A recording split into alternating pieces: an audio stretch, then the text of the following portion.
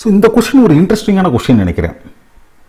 ஒரு geometrical question இங்கே பாருங்கள் ஒரு நேர்கோடு ரைட் நேர்கோடும் ஒரு பரவளையமும் இரு புள்ளிகளுக்கு மேற்பட்டு வெட்டி கொள்ளாது என்பதை நிரூபிக்க. Prove that a straight line and a parabola cannot intersect at more than two points of course இன்னும் நம்ம பேரபோலா படிக்கலை. இப்போ தான் ஃபிசிக்ஸில் கொஞ்சம் படிச்சிருப்பீங்க. So I will draw a parabola so this is a parabola right this is a parabola so ஒரு line இதை வெட்டுதுன்னு வச்சுக்கோங்களேன். சரி திஸ் இஸ் கட் பண்ணுது. அப்போ பார்த்தாவே தெரியும். ரெண்டு இடத்துல தான் என்ன செய்ய முடியும்? கட் பண்ண முடியும். சம்டைம்ஸ் லைன் இப்படி இருக்கலாம். தொடாமே போயிடலாம் சம்டைம்ஸ் அந்த லைன் இப்படி அப்படி அப்படி தொட்டுட்டு போகலாம். ரைட் அப்போ அதிகபட்ச சந்தர்ப்பம் ரெண்டு பாயிண்ட்ல தொடுறதுக்கு.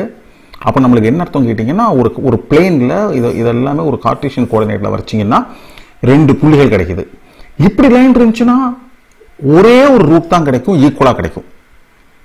சொல்யூஷன் இப்படி இருந்துச்சுன்னா அதுக்கு தொடவே இல்லை. அப்போ ஜாமெட்ரிக்கல் ஜாமெட்ரி தட் இஸ் அல்ஜிப்ரால நமக்கு இமேஜினரி ரூட் கிடைக்கும்.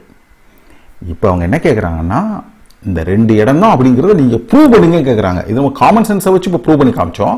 பட் காமன் சென்ஸை வச்சு ப்ரூவ் பண்ணுறத மேத்ஸ் ஒத்துக்காது இல்லையா? நம்ம நம்ம எப்படி ப்ரூவ் பண்ணி காமிக்கிறோம்? லாஜிக்கலாக ப்ரூவ் பண்ணி காமிக்கிறோம். ஸோ நம்ம என்ன பண்ணுவோம்? சில விஷயம் அட்வான்ஸாக எடுத்துக்கிடுவோம். என்னென்னு கேட்டிங்கன்னா இதெல்லாம் பேராபோலாவோட ஈக்குவேஷன்ஸ் ரைட் விதவிதமான ஈக்குவேஷன்ஸ் பாருங்கள் y square is equal four x y square is equal minus four x x square is equal four a y x இதெல்லாம் உங்களுக்கு என்னன்னு தோணும். நான் ரொம்ப நம்ம அடுத்த சாப்டர் அடுத்த சாப்டர் நான் படிப்போம். சும்மா ஒரு ஐடியா மட்டும் தரேனே இதான் ஒரு கார்டேஷன் கோஆர்டினேட் வச்சுக்கோங்களேன். Y square is equal four எக்ஸ்னால் அந்த பேரபோலா இப்படி இருக்கும். பேரபோலா இந்த மாதிரி இருக்கும். For example y square is equal minus four எக்ஸ்னா இப்படி இருக்கும். இப்படி பேரபுலாக இருக்கும். Right x square is equal four A1 எப்படி இருக்கும். X square is minus four A1 எப்படி இருக்கும். அப்போ உங்களுக்கு இன்னும் புரிஞ்சிருக்கும் ஜெனரலாக இருக்கக்கூடிய பேரபோலாக்கில் ஈக்குவேஷனோட பேட்டர்ன் இன்னும் மாறும். நான் என்ன பண்ணிக்கிறேன்? இருக்கிற சிம்பிளஸ்ட் ஃபார்ம் எடுத்துக்கிறேன். Y square is equal to four x இதுக்கு வேலை ஈஸியாக இருக்கிறதுக்காக. ஸோ இதுதான் ஒரு parabola y square is equal to four a x ஒரு ஸ்ட்ரெயிட் லைன் எடுத்துக்க போகிறேன் அதனோட equation y is equal to m x plus c அப்போ இவங்க எங்கே வெட்டுவாங்க? இந்த இந்த இவனும் இவனும் எங்கே உண்மையாக இருக்காங்களோ அங்கே வெட்டுவாங்க. அப்போ உண்மையாக இருக்கிறதுக்கு என்ன பண்ணணும்? இவனை தூக்கி இங்கே நம்ம சப்ஸ்டியூட் பண்ணணும். அப்போ என்ன ஆகும் எம்எக்ஸ் பிளஸ் சி இவன் ஒய் ஒய் ஸ்கொயர் அவனோட square is equal to four a x இதை எக்ஸ்பேண்ட் பண்ணிங்கன்னா m square x square plus two m c x plus c square minus four a four x இங்கிட்டு கொண்டு போயிட்டேன்.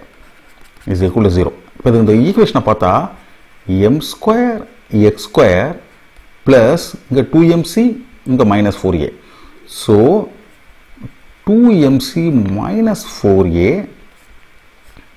into X plus C square is equal to zero ஈக்குவேஷனை பார்த்தீங்கன்னா A X square plus BX plus C is equal ஜீரோங்கிற quadratic equation மாதிரியே இது அப்போ இதுக்கு அதிகபட்சம் ரெண்டு சொல்யூஷன் தான் இருக்க முடியும். இங்கே டிகிரி ரெண்டு தான் இருக்கு இல்லையா? ரெண்டு டிகிரினா ரெண்டு ஈக்குவேஷன் ரெண்டு சொல்யூஷன் தான் இருக்க முடியும்.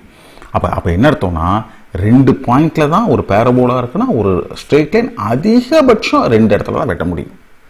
இல்லை வெட்டாமையே போகலாம் இல்லை ரூட்ஸ் ஈக்குவலாக இருந்துச்சுன்னா அந்த பேரபோலாக்கு அது எப்படி இருக்குது டேஞ்சண்ட்டாக இருக்குது என்பது தான் இதனுடைய பொருள். சரியா?